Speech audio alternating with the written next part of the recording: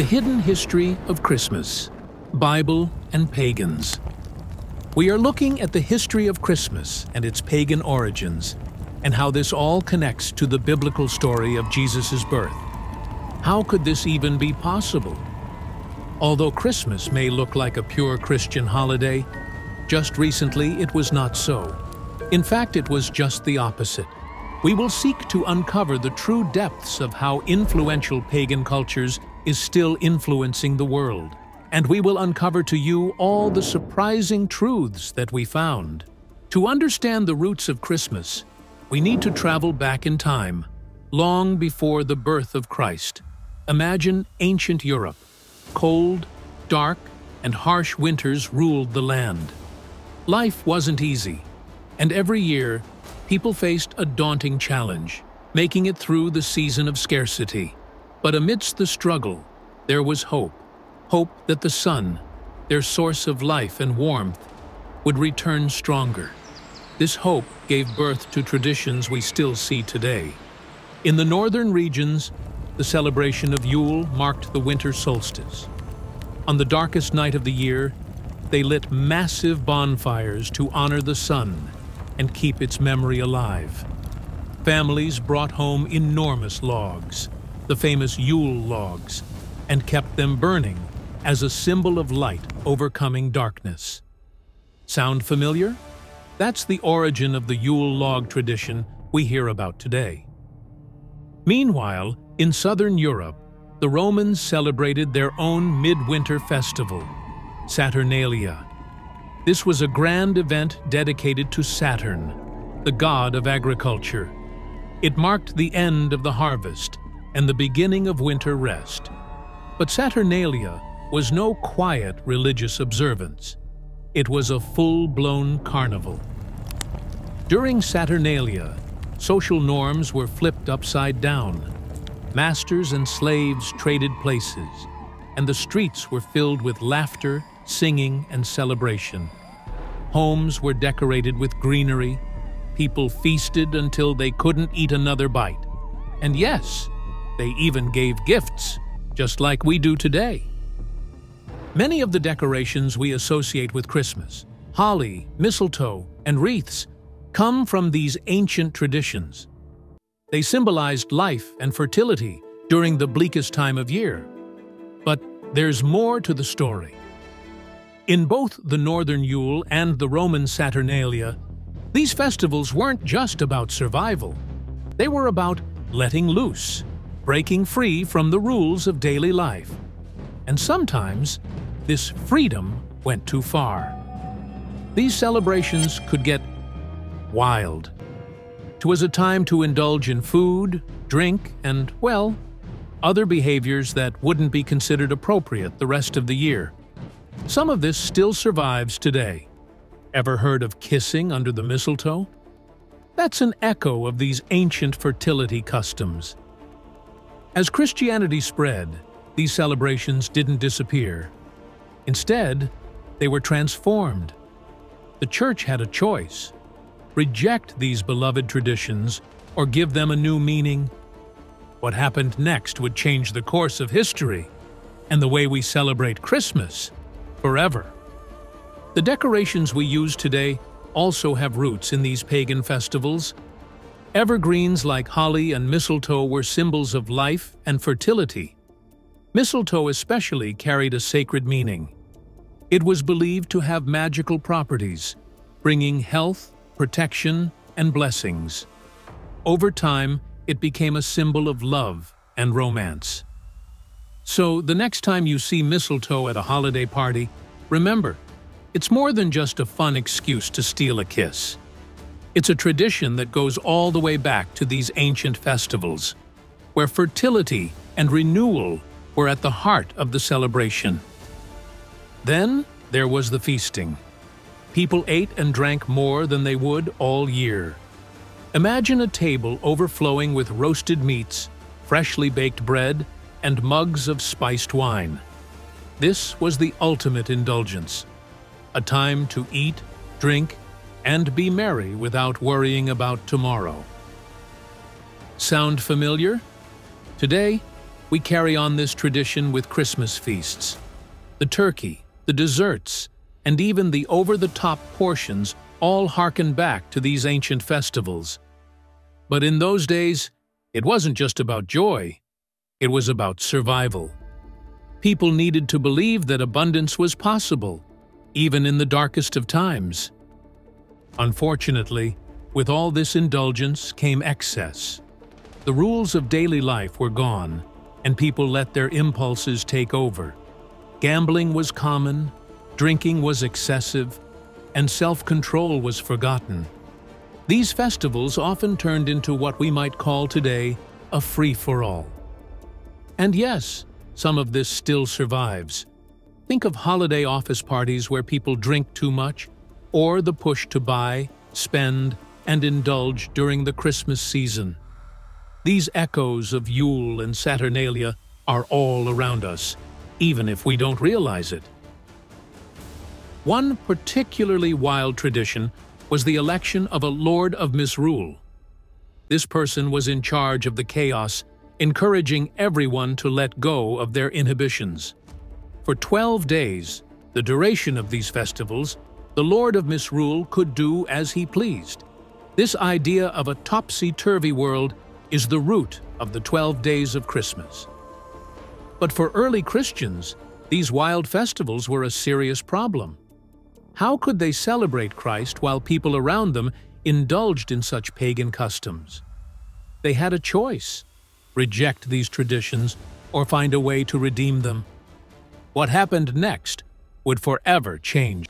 In the early centuries, most Christians refused to celebrate these festivals. They saw them as pagan, indulgent, and completely opposed to the teachings of Christ.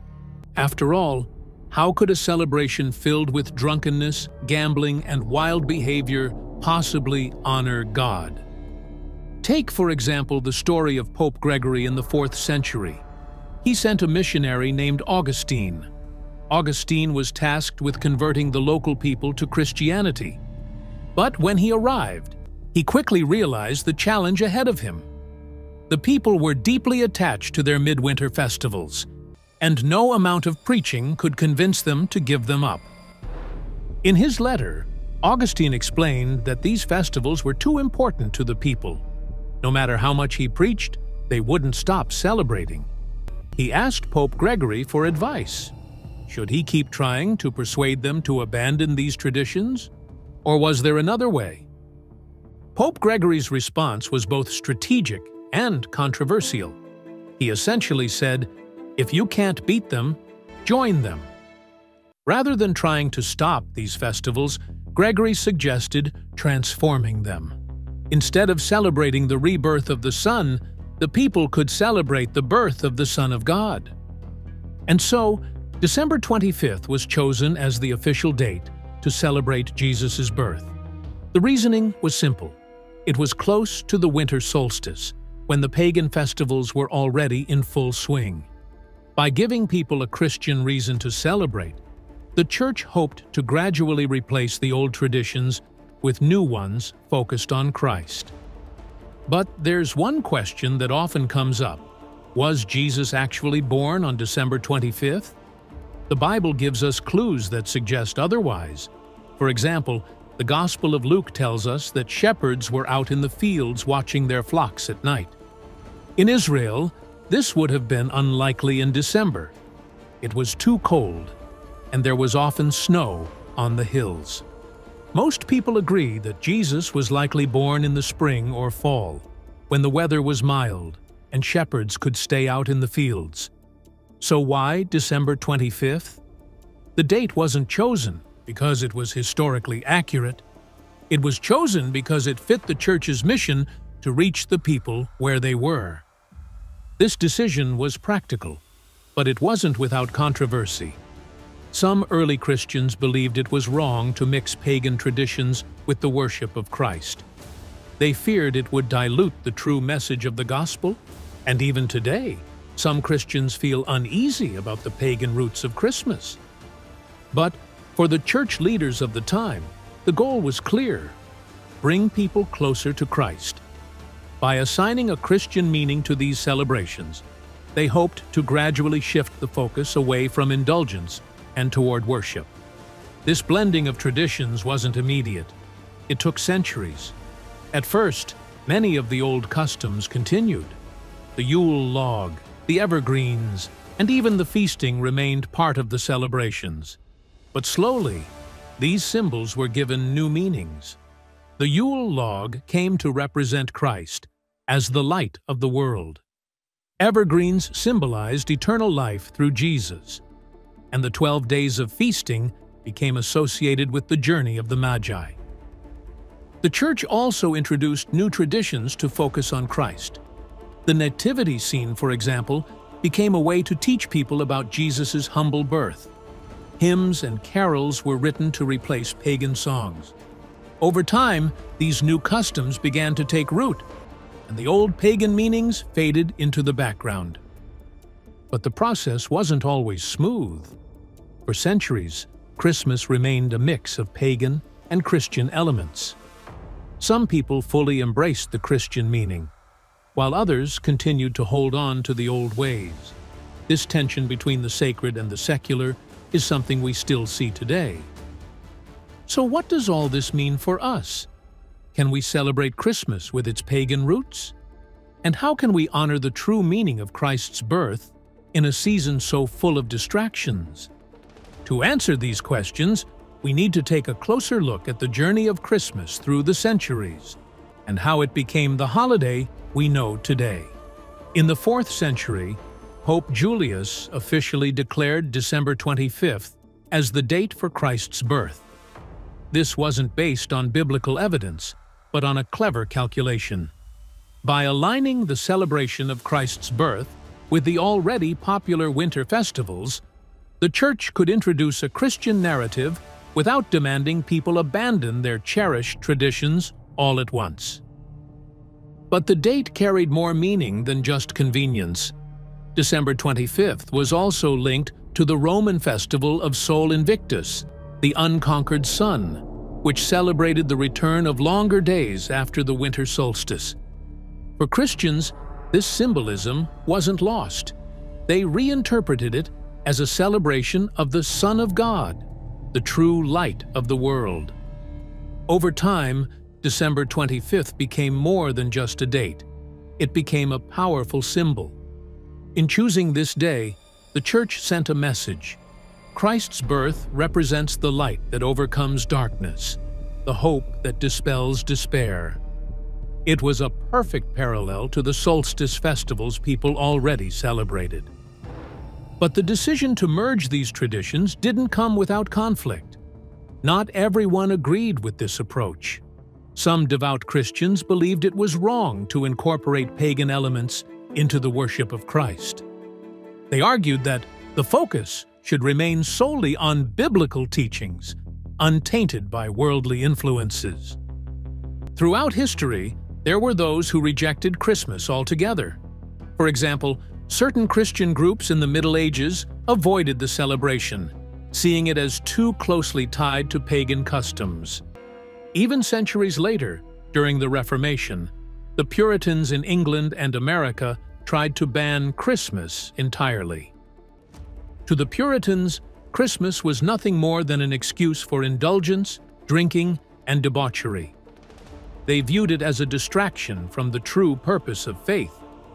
For them, the idea of celebrating Christ's birth on December 25th, a date with pagan origins, was unacceptable. This debate over what's sacred and what's secular continues even today. How much of Christmas is about Christ? How much of it is cultural? These questions aren't new. They've been asked for centuries. But despite the debates, the Church's choice of December 25th had a lasting impact. By assigning this day to Christ's birth, they planted a seed, a new narrative that would grow and evolve over time. It allowed the focus to shift from pagan gods to the God who, according to Christian belief, became flesh and dwelled among us.